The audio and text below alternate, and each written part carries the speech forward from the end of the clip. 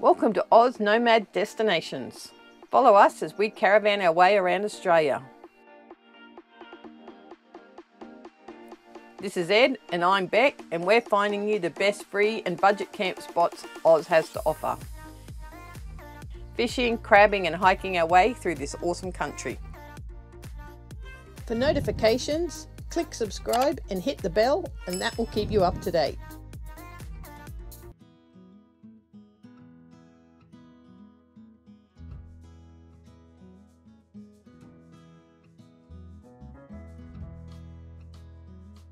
Located 40 kilometres northwest of Maleny and 11 kilometres west of Kenilworth in the Imbil State Forest is Charlie Moreland camping area.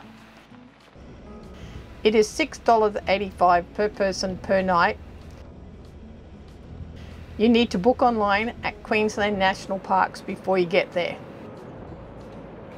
A camping tag with your booking number must be displayed at the campsite at all times.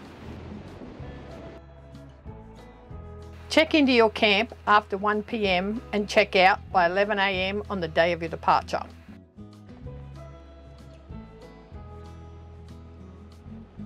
The road in is 7 kilometres and 5 of that is dirt. And when we went it was a little corrugated with some large potholes. But if you took your time most caravans would make it in.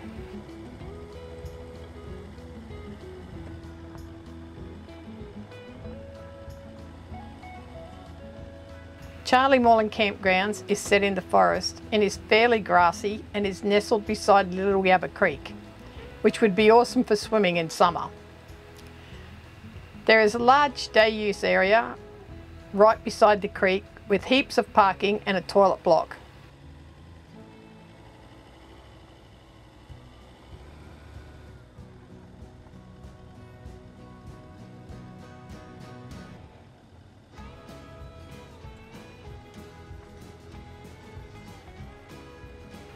The campgrounds has no defined sites, but there are barbecues and fire rings dotted throughout the area.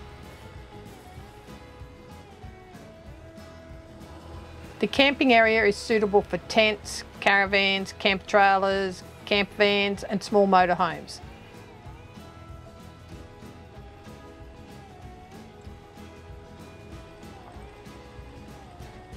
It's a large area, so it'd be possibly suitable for really large groups.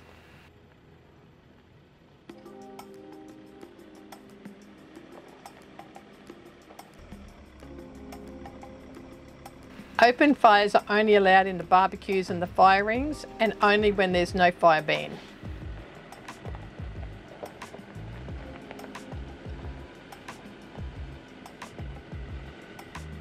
There is no potable water available, but if you boil it, you can use it for drinking. Oh, and bring your own firewood.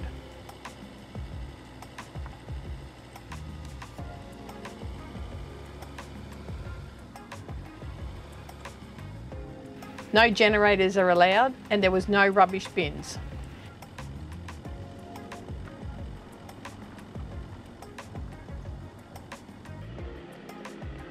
There were a few toilet blocks scattered throughout the grounds and they were wheelchair friendly.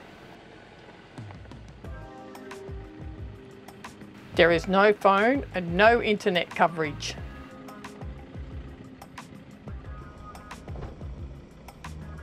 So you'll need to bring all your drinking water, rubbish bags, insect repellent, firewood, as there's nothing available except in Kenilworth.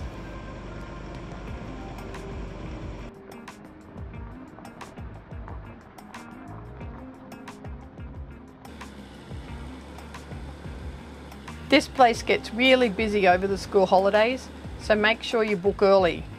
One pretty special thing is you can bring your horse.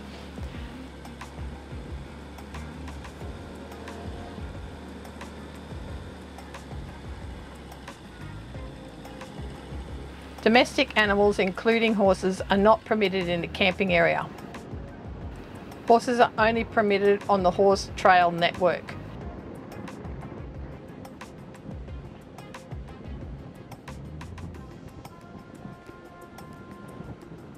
But there is a large enclosed paddock provided right beside the campgrounds with shaded lean-tos. We found getting there in our caravan that coming in from Eumundi Kenilworth Road was the best. And then Sandy Creek Road is about 11 kilometres from Kenilworth.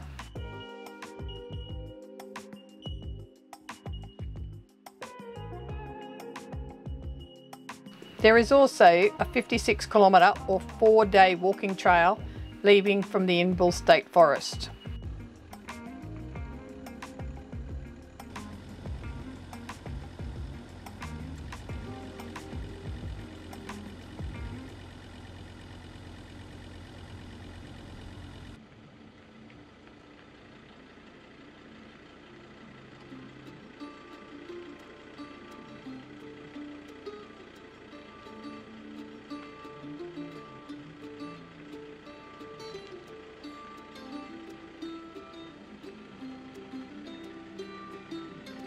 Then we did a day trip into Kenilworth.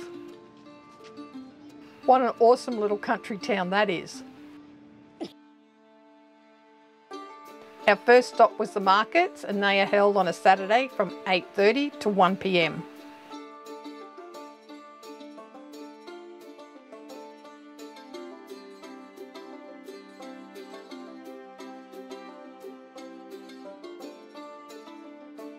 Then it was off to the Big Boss chocolate shop. Got ourselves a chocolate or two. They did have a really great range, as well as vegan chocolate, and I think they had dairy free.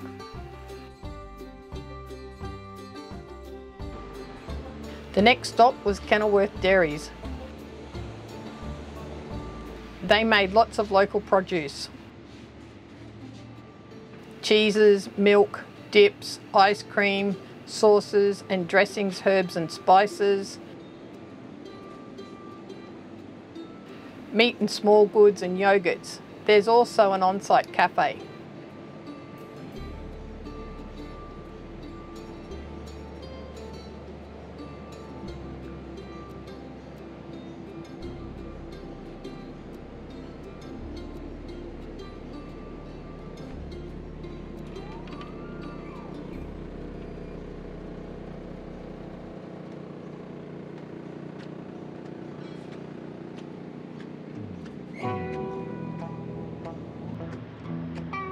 And we left the best to last. The next was the pie shop and donut shop. Oh my goodness, they have the best pies I've ever had. And the donuts were to die for. The line up down the footpath proved it. There is also a large sitting area up the lane with murals of great singers and actors.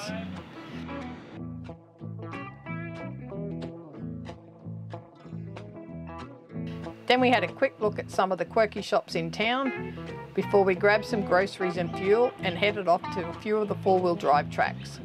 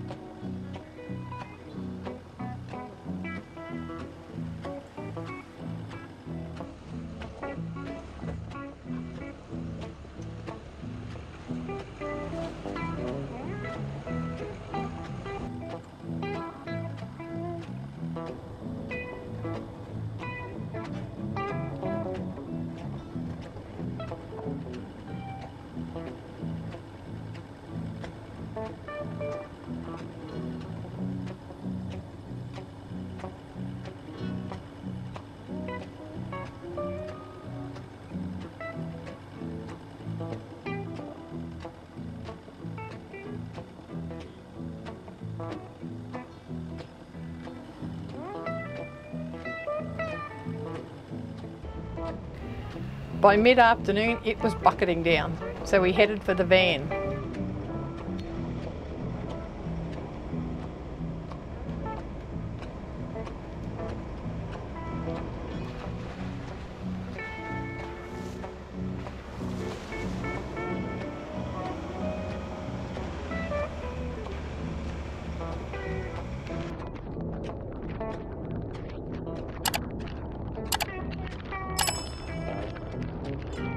So that's us for this week.